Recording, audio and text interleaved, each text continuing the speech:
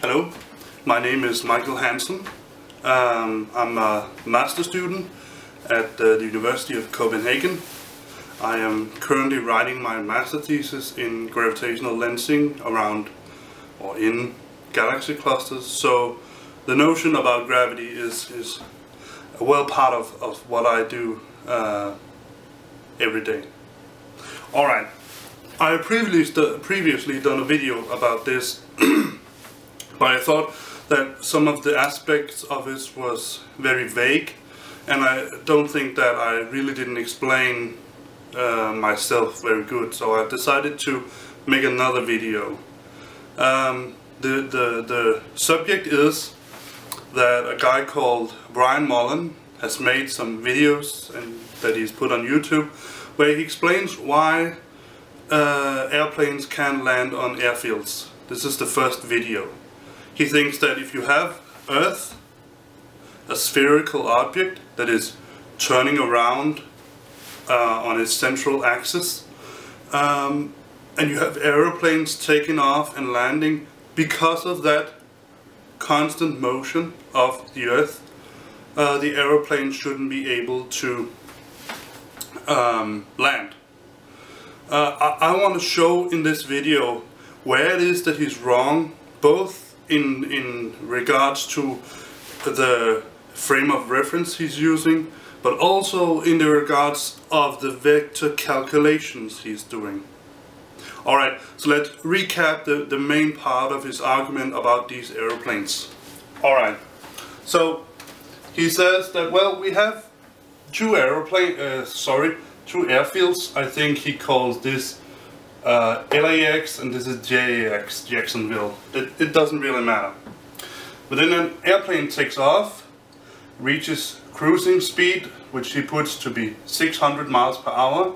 And as the Earth is turning in this direction uh, with 900 miles per hour, he assumes that the, the, the total velocity of this aeroplane must be 1500 miles per hour. Alright, no problems here. So then he goes over to this part where he says, well, in order, before the plane turns, it, it, it wants to slow down in order to keep the 900 miles per hour. But it can't, because then it won't, would have to fly with a speed of zero, and that's not possible.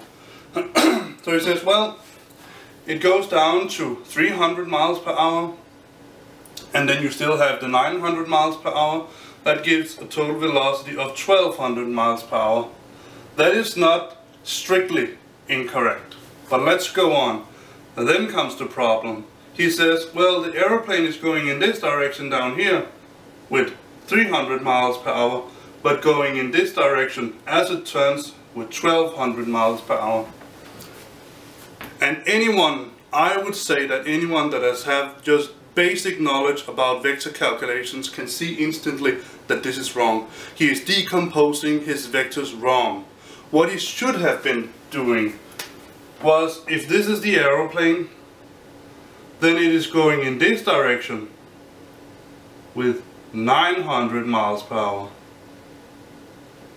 And in this direction with 300 miles per hour.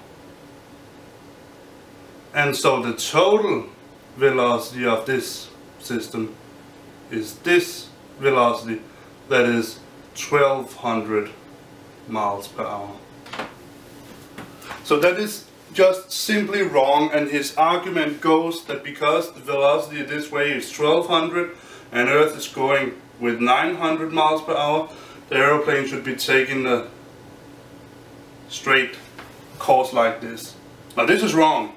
It is simply wrong calculations. It's calculated wrongfully. Alright, so the next problem is that he says, well, we are stationary observers seeing this system. Alright, let's assume that. Then he is correct. But he, then this, these calculations, the total velocities are correct. But he's forgetting something. He's forgetting that everything here is moving in this direction. If you look at it from above a stationary observer that doesn't use the Earth as a reference frame.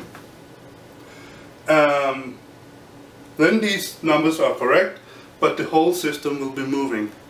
Now, if you're using Earth as a reference frame, and that is what we usually do when we do these things, we don't need these numbers because we know the whole system is going in that direction with 900 miles per hour.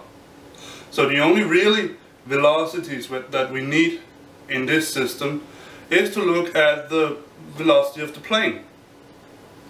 And since it will be going in this direction constantly with 900 miles per hour and the Earth will be moving in this direction constantly with 900 miles per hour and we use Earth as a reference, frame then the 900 miles per hour is not necessary to account for. Let me try to, because this is probably a little a, a more complicated uh, example because you have an aeroplane moving with speed and you have Earth, you have that aeroplane moving in relation to another object, the Earth, that is also moving with a, with a speed. So let's take a more simple example instead. Alright, we have the surface of the Earth and we have a very ugly, horrible helicopter. Going up, let's just say it's um, 100 meters, because I'm from Denmark, we use the, use the metric system. So it's 100 meters above the surface. Now, let's be careful about our frame of reference. Let's take the first frame of reference, Earth. F1 is Earth. Then the helicopter, the Earth is going in this direction, let's just say that, with 900 miles per hour. But the helicopter is also going in this direction with 900 miles per hour. Now, as this is true, and we're using Earth as a reference frame, this is ambiguous. We don't need it. All we have to do is look at the Earth, look at the helicopter and see that the helicopter will be constantly hovering above this flag. And as long as the helicopter doesn't go forward or backwards, it will remain hovering there. Now, here comes the part that's true. If we use another frame of reference, let's for instance say outside of Earth or the Sun, but we're using the Sun as the reference frame, but keeping still to Earth. Uh, keep sorry, keeping close to Earth so we can see the helicopter. Then it's completely correct that the helicopter will be moving in this direction with 900 miles per hour. And the Earth, the flag, will be moving in this direction with 900 miles per hour. So for an observer, seeing the total, that the whole Earth and its helicopter, the helicopter, which is here, will be going around like that. That is correct. But it is not correct to begin to add these vector values together and then assume, if you do it right, that you can just say that the plane will be going or the helicopter will be going in all sorts of crazy ways. Now, even if, if we don't believe the math here, it wouldn't make logical sense for anyone that a helicopter would go straight up, hover above this flag, and then the flag would start to move and the helicopter will move in another direction because the earth is moving in this direction. I don't think anyone have ever experienced that and it would make it utterly impossible for anyone to just land or take off with a helicopter because you would have clear sights for miles in order to be sure that you didn't hit anything. So this is why Brian Mullin is wrong in his assumption that you can use these kind of calculations to infer that the Earth cannot be around a spherical object moving around a central axis.